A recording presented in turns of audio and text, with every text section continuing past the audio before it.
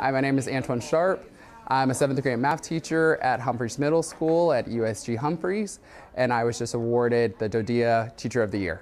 Some of the biggest lessons I think I learned as a teacher is mainly from my students. I think a lot of times when we have kids, we look at them as being young and inexperienced, but as an adult and working with them, we see how resilient they are, especially the military connected kids. We see how resilient they are with all the moves and parent deployment.